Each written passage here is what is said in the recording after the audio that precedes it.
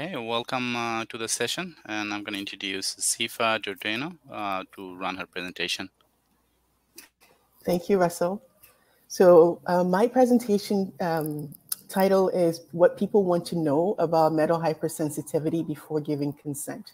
I'd like to acknowledge that I'm joining you today from the unceded traditional territory of the Lekwungen people. I want to start with a story. So this is a, a, a case of a nine-year-old uh, child who was diagnosed with um, jaw misalignment of the jaw. In order to correct this, he was um, he had to get a device similar to what is on this uh, screen right here uh, to correct for it. So the impressions were made, and the device was affixed, fixed to the upper portion of uh, his jaw, and that was in place. Uh, the device was implanted on March the 24th. Shortly after that, what the parent noted was that there were uh, some rashes that was developing on the back side of the child's arm over there. Hopefully you can see my marking. And then on the lip here, there was, it was almost like a blister without any uh, filling inside of the blister. It wasn't painful. And around the same time, the child started complaining of, in his own words, my tongue is feels very bumpy, and it was difficult for him to eat. And so at this point, he was taken back to the dentist where they gave uh, some sort of mouthwash, and that mouthwash had resolved the issue. Also, here in this picture, you can't see it too well, but there was a little, uh, was described as a burn. And once the skin uh, came off of that area, it, um, it, as you can see, the base of it is a bit yellow, but there wasn't really any um, any bleeding or anything that was associated with that. But as time went on, the parents also noted that, you know, on the lower extremities of the arm, the child would wake up with something that looked like a burn. And then uh, the progression goes as such. So the you know this is the first day. The second day the skin came off and the base looks a bit yellow but again there was no weeping. And then the following day that area just developed begins to weep constantly. In fact the child came back from school uh, with bandage on the arm uh, saying that the arm began to bleed at school and the teachers weren't able to stop the bleeding so they put a bandage on it. So at this point the child was taken to uh, the np for consult. The np initiated a, um, a dermatology uh, uh, consult and then the child was taken back to the dentist.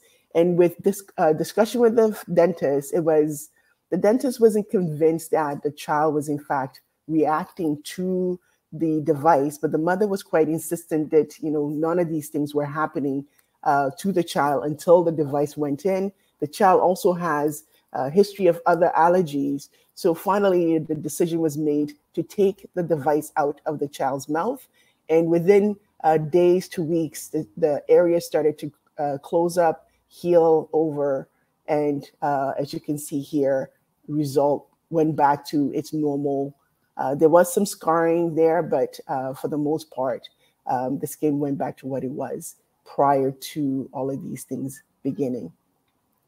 So what I just described to you is what in the literature is being noted as metal hypersensitivity. Metal hypersensitivity is a systemic delay type 4 immunological responses.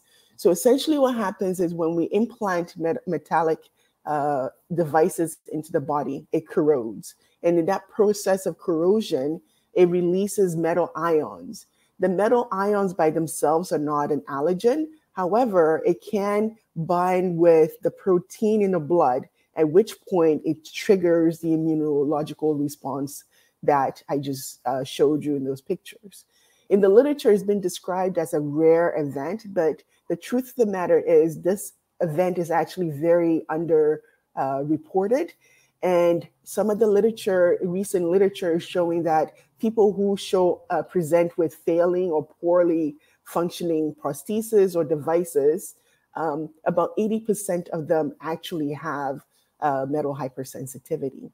The signs and symptoms of it are wide. Uh, pain is number one uh, complaint, of many of the participants or many of the people with this experience, swelling, delay wound healing, and ultimately uh, device failure. As a nurse, I've been aware of this uh, particular phenomenon since 2013, and I was curious to know whether we as nurses, healthcare providers, healthcare workers, whether we were um, consistent or if we ask our patients about their intolerance to metal. So last year, or maybe it was a year before now, uh, I did a survey of healthcare workers just to see whether they were aware of metal hypersensitivity and if they were routinely asking their patients about it. And ultimately, what we found was that 90% of the people that we had surveyed had no idea about metal hypersensitivity and they did not routinely ask about this when they were taking care of patients. This is even in a situation or in settings where uh, med devices are routinely implanted. And so, with armed of that information, I uh, a patient oriented framework. And in this framework, essentially, I partner up with somebody who has had a lived experience of metal hypersensitivity. I presented to them the literature finding, the study, the survey finding, as well as my own clinical uh, practice finding to determine what would be the next meaningful question for us to investigate. And we just decided or determined that the question that would be more meaningful at this point would be to find out what information in retrospect, what information would have helped people who have had this experience make an informed decision about metal implants. And so we use an interpretive phenomenology methodology. We interviewed 16 people from across the world, um, and they uh, the interviews lasted generally about an hour to about just under three hours. And uh, I'll show you our results. So we had 16 people participate. Um, we did turn down uh, a few people, mainly because they were reaching out, hoping that we can help them find answers to their problem, meaning they wanted us to help them find doctors, uh, get tests, and what have you not. And so we, in good faith, couldn't include them because we didn't want to give them uh, a false hope. And so um, participants were from um, North America, Europe, and New Zealand. Majority of them had orthopedic uh, implants. Some had dental implants as well. Uh, one had a gynecological, and a couple uh, others had uh, cardiac uh, devices. And so their symptoms was very similar to what I just showed you. many of them talked about having pain. a lot of them talked about having a, a rash that bled constantly. Others talked about, um, you know, being in their 20s after getting the device, having acne, again, that bled un- uh, uncontrollably. So, based on the interviews that we um, uh, conducted, we were able to glean at least six specific asks from the participants. And so, what they have all uh, said was that in the consenting process, there was never a discussion about the metal composition of the device. So they believe that uh, as part of the consenting process, information about the composition of the of the device ought to be discussed with the participant. Along with that, they want a pre-operative screening. So, um, you know, things around even the question we ask patients routinely about their allergies to medicine, to latex, to food but we never ask them whether they have a prior intolerance to metal.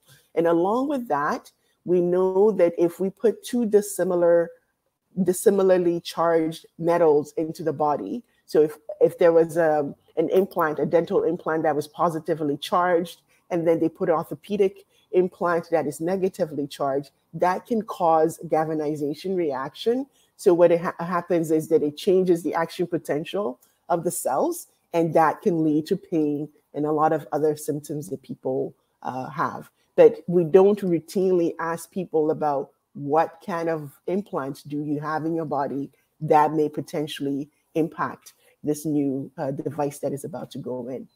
The participants want discharge information about the signs and symptoms to look for. They also want an implant card. So essentially what was happening is that when folks got the diagnosis that of metal hypersensitivity, even the ones who were able to get the device taken out, later down the road find out that there were other accessory devices that was left in their body. So that could be the clips, the wires that were used to uh, close the sternum. All of those things are also metal based. And so they want some sort of an uh, account that uh, detail all the things that were left in their body, as well as the compositions of that.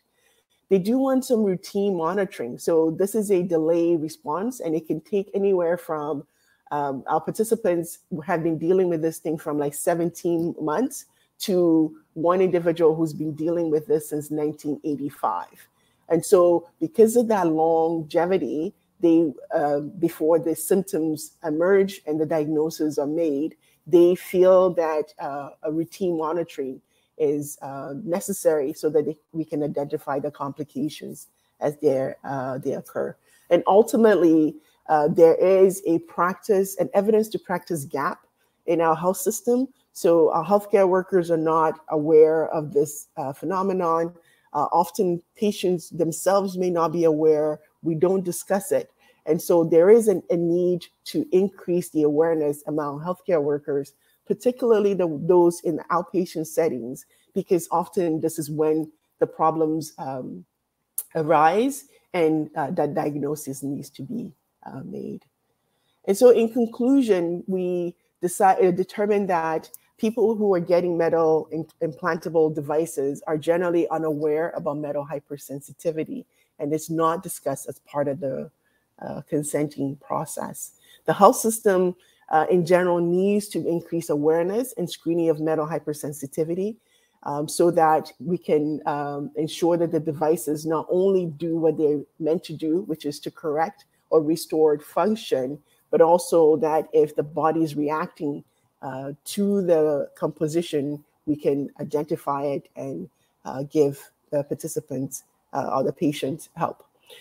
Ultimately, we can't do all of these things if we don't have uh, the health uh, information technology to be able to capture the information and then track it over time. The case that I gave you with the young uh, nine year old, there's nowhere in their current medical record that they've ever had this experience. So God forbid if this person would need something down the down the road, we still not would not know, the family would not know what composition of that device was the child responding to. Um, is there and, and if you don't know what the composition is, you can't find alternative to um, to that. And so I will conclude with the uh, statement that one of the participant had said in terms of their experience with metal hypersensitivity. And uh, she said, I have repeatedly found myself minimized, marginalized, and treated like a second class citizen when I inquired about this little known uh, uh, issue. And so it's not just a fact, a matter of um, rashes, um, or, you know, many of the participants talked about psychological impact of having to live with this when there's no diagnosis, no answers, um, and uh, even fewer people willing to uh, go back in there and take the device out. So on that, I will conclude and uh, answer any questions we may have. I do want to acknowledge my team, um, the patient partner, the participants of the who share their stories, and a third year nursing students that helped me with the data uh, recruitment and data collection. Thank you.